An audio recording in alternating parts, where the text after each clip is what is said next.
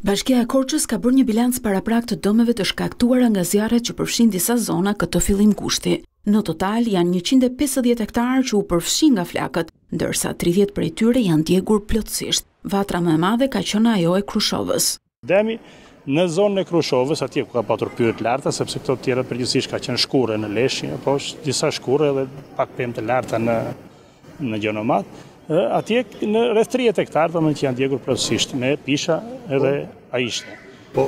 Pjesa tjetër pastaj është një pjesë është e përshkuar që themi se do të rimarrë veten dhe një pjesë tjetër pastaj djegie të pjesshme. Ndërkohë që zjarret përfshinë edhe zonën në Gjonomadh, Leshnjë dhe Vithkuq, Dëmet kanë qenë të konsiderueshme në bimësi, pyje dhe shkurre, ndërkohë situata mbetet ende nën monitorim për ndonjë riaktivizim të mundshëm të vatrave. Dhe ne aktualisht sot, në këtë moment që flasim, jemi në një situatë të qetë dhe pa probleme në fushën e zjarreve. Por monitorimi dhe dhe gatishmëria dhe vigjilenca jonë është në çdo moment, ditën dhe natën me njerëzit, me forca të caktuara, të gjitha forcat e njësive administrative që dikur merreshin me probleme të shërbimeve janë aktivizuar vetëm në këtë, duke u ndarë rajone të përcaktuara, dhe ata janë thjesht vrojtues sepse kapja e momenteve të para është vendimtare për të ndaluar dëmtimin. Sipas të dhënave në Bashkinë e Pogradecit, ka një riaktivizim të vatrave të zjarrit në Malësinë e Mokrës, por ato nuk paraqesin rrezik.